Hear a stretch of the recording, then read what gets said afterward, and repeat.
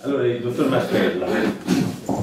Io, io, vi ringrazio per l'invito e voglio cercare in tempi strettissimi di essere chiaro sia per quello che riguarda le cose fatte che le cose da fare. Eh, sono felicissimo che ci sia il vicepresidente perché bisogna essere estremamente chiari, estremamente chiari. Di questa situazione di tragedia che viviamo in tutta Italia c'è ovviamente una colpa diretta da parte di chi lo ha fatto, ma anche una colpa indiretta, e cioè da parte nostra, che a volte non è meno, meno grave, per non aver chiarito le cose che dovevano essere chiarite e dovevano essere controllate. Io devo applicare l'articolo 32 della Costituzione e l'articolo 41. Adesso il vero problema è che io vivo in uno Stato che non fa né l'uno né l'altro e le colpe sono di chi ha fatto i fatti suoi da un, da un lato e di chi non vuole vedere e continua a non vedere dall'altro e questi siamo noi bisogna essere molto chiari su questo e adesso lo dimostro allora io sono quello che come Assisi Palazzo Marichiano si è trovato sconvolto alla vita perché io fino al 2006 non ne sapevo niente. Io sono nato tossicologo facevo il primario di laboratorio Pascale fino al 2006 diciamo marzo 2006 che viene donato Cegli al Pascale, leggiamo tutti Gomorra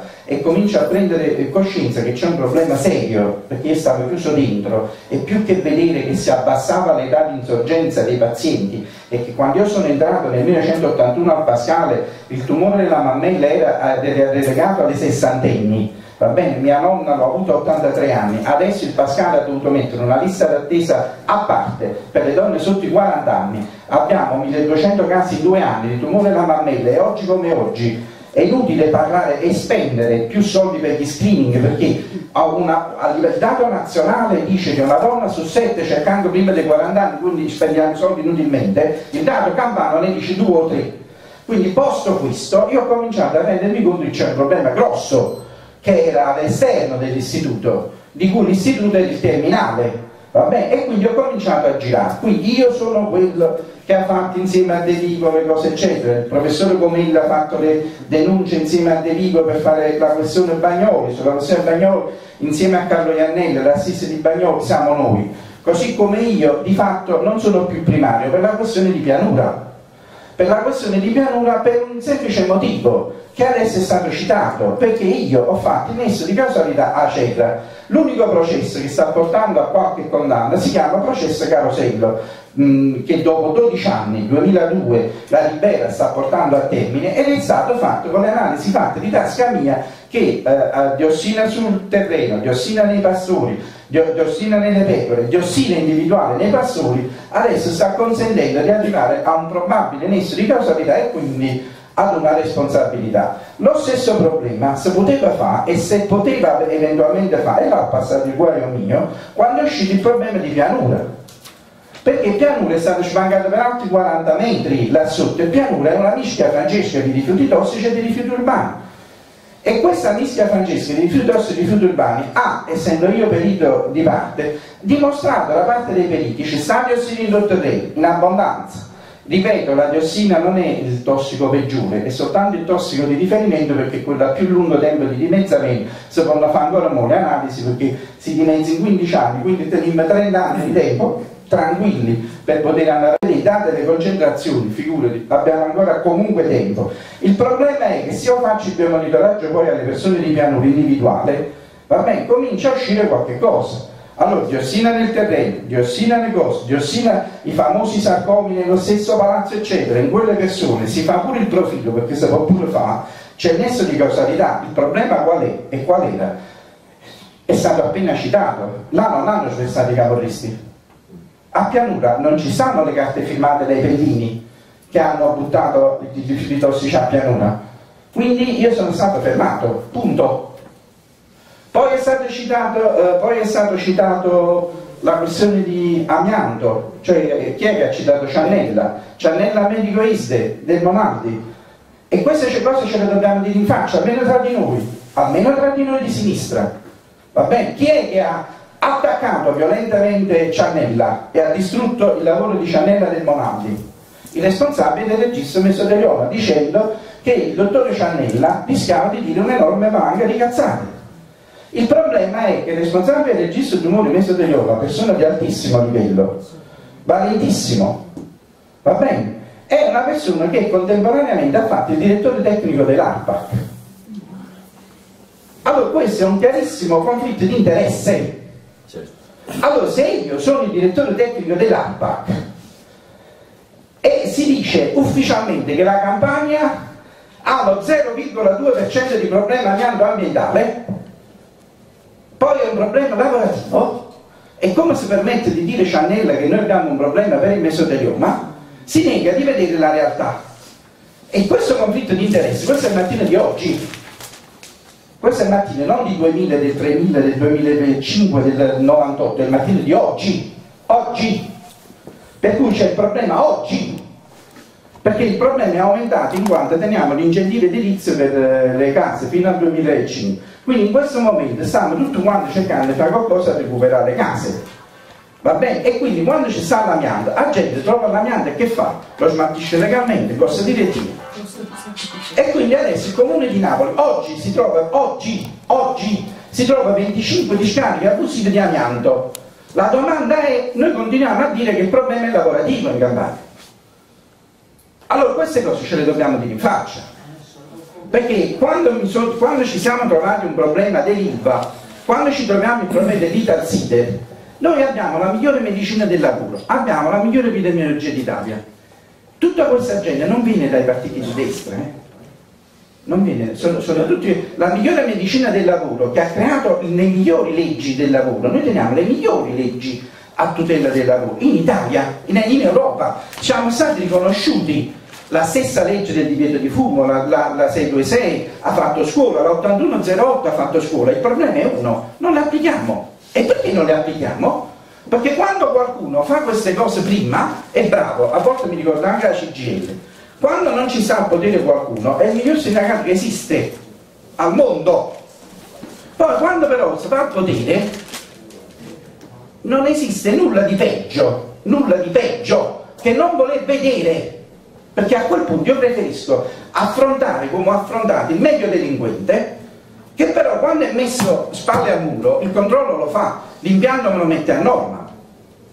Adesso io qua tengo una cosa gravissima, che tutti i problemi dei rifiuti, com'è possibile che non lo, non lo si vede, non lo si vede nella sua realtà e poi io passo pure, ci stanno quelli delle reti commons e quello favorevole ai piccoli inceneritori. Allora noi per il problema dei rifiuti parliamo sempre del quinto del problema. Io sono medico e siamo igienisti. Noi siamo a medicina democratica, quindi la maggior parte si tratta di colleghi medicina del lavoro e di medicina igienista. Tra di voi c'era il nostro collega che è morto, che noi rimpiangiamo, Bolognini, che è stato uno dei più grandi veramente medici dell'Iste, oltre che di medicina democratica. Va bene? Allora il problema è che uno deve dire cose come stanno e poi dopo far ragionare le persone. Noi non l'abbiamo fatto. Noi non lo vogliamo vedere. Quando si parla dei rifiuti, lo vogliamo dire che da 20 anni, sono 30 anni e più, che il problema dei rifiuti si è spostato da quello urbano a quello industriale? È che ci decidiamo a dirlo? Allora, il problema dei rifiuti è per 4 quinti di industriale e per un quinto urbano. Questo è l'esempio. L'amianto è un rifiuto non urbano, e l'amianto è un rifiuto tossico e l'amianto io non lo posso riciclare a rifiuto zero di lago. Per togliere l'amianto o, o faccio una discarica per rifiuto speciale non ho alternativa o mi faccio un impianto per inertizzare ci sta. Come lo smaltiamo in questo momento? In questo momento l'Italia dato ufficiale piglia 400.000 tonnellate l'anno di amianto dei 32 milioni stimati che, vengono, che sono stati prodotti e sono distribuiti nel territorio e mentre noi italiani, noi campani, siamo condannati per eccesso di discariche urbane e per eccesso di discariche industriali, sapete dove va? Teoricamente, teoricamente, in Germania. Perché la Germania tiene, e li paghiamo profumatamente, discariche per rifiuti tossici per l'amianto e delle famose discariche per le ceneri tossiche delle famose brisce della famosa, e della famosa cella, fermo restando che il, giusto ieri, quindi ieri, il TG3 ha cominciato a favorire a Rovane ceneri di, di, di, di aceto veramente. Allora il problema è che quando io ho rifiuti industriali devo dire che mi servono impianti e devo dire quando e come devo tracciare e smaltire i rifiuti industriali. Il problema del rifiuto urbano, sia per l'entità che per le dimensioni, è un quinto del problema. Vogliamo fare rifiuti zero, facciamo rifiuti zero, risolto il problema degli industriali. Non è difficile e non è un caso, e non è un caso che Vedelago stia in Veneto. Io ho fatto la mia tesi che adesso presento e che dico le stesse cose di Fortini, perché utilizzando il sistema che ha fatto Balduzzi, cioè di benchmarking competitivo per stabilire quali sono i gold standard della sanità, io ho fatto, ho applicato, e com'è che non si è fatto fino a mo'? È una cosa così banale. Lo stesso sistema di benchmarking competitivo per i rifiuti facendo riferimento alla campagna alle regioni cosiddette virtuose, Lombardia, Veneto, Toscana ed Emilia. Toscana dove c'è Capannoli, eh, Veneto dove ci sta Vedelago, con una differenza che nessuno ha fatto mai fino a mo'. E questa è la domanda, com'è che noi medici, nessuno si è ricordata che il problema è per i quattro wind industriali e un wind urbano, quindi io quando faccio benchmarking la già fa tutto, perché non è che il problema non si pone anche in una città, è il problema in una città come questa, sapete come si pone di più? Perché il problema è che io tengo la più grande fabbrica da sempre, sono 50 anni, che teniamo la più grande fabbrica a Napoli del mondo di, di pelletterie, scarpe e borse mondiali, ma il regime di evasione fiscale. Cioè noi siamo una città in cui c'è una fabbrica la più grande del mondo, distribuita, moltiplicata per scandinavi, per cose, per... dove in nero si produce una quantità di scarpe e di borse false che sono false solo e esclusivamente quando le acchiappa la finanza. Perché quelle scarpe e quelle borse, come ha mostrato Report, sono le scarpe e le borse originali, vere, che si mettono a comprare qua, poi ci mettono il marchio quando non le acchiappa la finanza. E qua ha fatto vedere Report, vengono vendute a 25 euro a borsa e poi fuori vengono vendute a 4,50 ma per ogni chilo di borsa voi quando vedete questa adesso io ho fatto pure questo studio per, voi dovete immaginare, mo che vedete bancarelle, cose in coppa e marciapiedi eccetera per ogni chilo di borsa che vedete voi dovete immaginare che c'è mezzo chilo mezzo chilo di solventi, collanti, coloranti, pellami questa è terra dei fuochi questo anche quando è venuto Balduzzi terra fuochi fatica, noi fatichiamo tutti i giorni non ci possiamo fermare. Mi pare che la gente si può fermare quando manca il lavoro, è il lavoro nero. Noi fatichiamo tutti i giorni, dove va sta roba? E questo è il problema dei rifiuti di Napoli, che si mente dicendo che è urbano e poi in realtà è il vero problema della costante sovrapposizione dei flussi industriali e urbani che poi mi fa scrivere al, al comune di Napoli, perché qua è stato presentato, mi dai quel libro, l'altro giorno, è stato presentato da Fortini, da, da Isaia, questa è la tesi, quel libro, un bellissimo volume che costa troppo, non ve lo posso accattare, costa 40 euro, è stato presentato un altro libro, bellissimo, fatto molto bene. Attenzione, non è fatto da Berlusconi, eh? qua ci stanno tutti intellettuali di sinistra che hanno fatto questo, più la di, di Asia, che in questo momento quindi è un pezzo del comune di Napoli, il quale dice le stesse cose che dico io sui rifiuti speciali, perché il vero problema di questa città e di tutta Italia sui rifiuti industriali, per arrivare alla conclusione condivisa da tutti i magistrati, tutti, qua dentro c'è il cantone, eh? quindi attenzione, pure tutti i magistrati non mi pare che sono di destra, a me che dice ci serve l'ingegneritura. È chiaro? Allora io ho fatto la... No, eh no, però finché tu non analizzi con onestà, e ti spiego, e ti spiego. Allora io sono un analista, io sono per rifiuti zero, sono un medico dell'ambito, io sono un medico, no, no, no, no, io sono un medico. E questo è il mio compito, questo è il mio compito da igienista. E sto facendo il medico, si chiama medico igienista. Ed è quello che non è stato fatto fino a mo'. Esistono quattro tipi di discariche, perché se fa una... Io sono contro l'ingegnitore, sono per rifiuti zero, dico che certo, certamente lo dico come persona e come... ma se voi non ragionate in questi termini e non si fa il discorso serio sui rifiuti industriali e sulle comparazioni, ci massacrano. Allora io come analista, io come analista, io faccio il medico e proprio perché faccio il medico e proprio perché faccio l'economista sanitario, le mie opinioni quando analizzo vengono dopo. Io faccio un analista in questo momento e come analista io ti dico perché ho raffrontato tutti i sistemi che esistono in Campania, in Italia, per i rifiuti industriali e per i rifiuti urbani.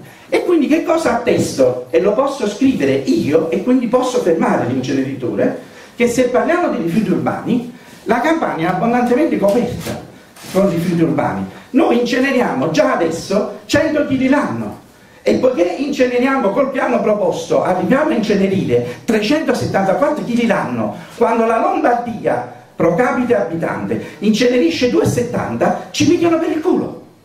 Ci pigliano per il culo Noi non abbiamo bisogno di inceneritori, meno che meno Napoli, dove adesso mi avete dato il volume di medicina democratica, dove all'interno c'è la relazione della mia collega Isde Gentilini che parla di Forlì. Quindi in medicina democratica c'è il bellissimo articolo della mia collega Gentilini, a cui io ho insegnato come fare il monitoraggio della diossina all'inceneritore di Montalto, che dimostra che a Forlì l'inceneritore fa male. Ma lo vogliamo dire che l'inceneritore di Forlì è un decimo di Acerra? E che praticamente i rifiuti, gli inceneritori, de, gli inceneritori dell'Emilia Romagna, gli inceneritori dell'Emilia Romagna? Sono nove e noi con uno solo ne facciamo due terzi. E quando Fortini in questo libro e Cantone ripete ma perché la Toscana ne ha sette di inceneritori e la Campania solo uno? Lo vogliamo dire perché io sono un analista che gli otto, perché non sono neanche sette, sono otto secondo i dati ISPRA della Toscana. Gli inceneritori della Toscana hanno una portata di 400.000 tonnellate complessive, quando solo a Cerra fa 600.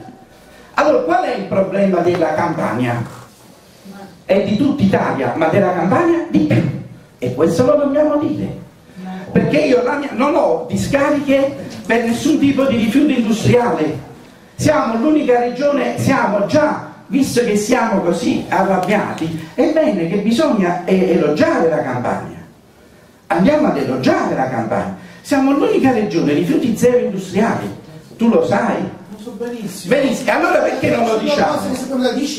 Allora se noi lo sappiamo da dieci anni, perché la gente non lo sa? Ma che cosa? Allora bisogna puntare noi in questo momento per comprendere le cose e soprattutto per risolvere il problema dei rifiuti urbani, dobbiamo affrontare e risolvere la tracciabilità e la necessità di inquadrare il corretto smaltimento dei rifiuti industriali, speciali e tossici che sono i quattro punti del problema. In questo momento, nella situazione attuale e nell'assenza di impianti, nella qualità di medico dell'ISDE e nella qualità di consulente del comune, io ho detto una sola cosa, l'unica cosa che potremmo fare in questo momento sono due, mandare i rifiuti fuori perché non abbiamo impianti e non abbiamo nessuna possibilità di tracciare di tracciare la mancata sovrapposizione degli, degli industriali sugli urbani, finché io non traccio quello, non posso fare rifiuti zero, perché il cinese mi porta in gola all'urbano tutto quello che fa è ordinariamente il regime di evasione fiscale. Quindi io l'unica cosa che posso fare è il comune attaccato in questo momento su questo, ma quello che invece io, dopo aver creduto come tutti che effettivamente era una strunzata, andando ad analizzare la situazione attuale di carenza di impianti, io dico che in questo momento l'unica salvezza è mandare fuori per fare che cosa? Per togliere il rifiuto urbano, cioè la scenografia del rifiuto industriale. E infatti noi adesso a questo punto abbiamo permesso, abbiamo permesso di far vedere che c'è un problema di rifiuto industriale. Altrimenti se, se continuavamo a mischiare i rifiuti non si vedeva il problema. Quindi lei in effetti consiglia di mandare fuori temporaneamente finché non facciamo gli impianti. Adesso la mia, la mia tesi dimostra, e su questo siamo tranquillamente in linea, che quello che manca qua sono i compostaggi, cioè quello che manca a noi sono i compostaggi. Quello che e certo, ma questo lo si deve dire in maniera scientifica, andando ad accettare un confronto anche tecnico su chi come gli altri, come gli altri vuole praticamente fare un discorso di ciclo integrato dei rifiuti perché dice che va. Io lo accetto questo confronto, perché non conviene a loro. Se io faccio solo un discorso, io posso fare Vedelago, Vedelago lo può fare perché ha 68 discariche per rifiuti inerti, che sono i nostri, quindi i loro rifiuti industriali li hanno tolti da mezzo, i tossici li mandano a noi e possono fare rifiuti zero. La stessa cosa è Capannori. Capannori in Toscana è quella che ci hanno mandato più rifiuti tossici a noi. Loro possono fare rifiuti zero perché noi teniamo i loro rifiuti tossici e quando a Peccioli c'è una discarica urbana sostanzialmente analoga alle nostre discariche urbane, va bene perché noi siamo come discariche urbane messe a posto, soltanto che il problema è che le nostre discariche urbane sono state tutte riempite da rifiuti tossici che non, ci, non, dovevano stare là.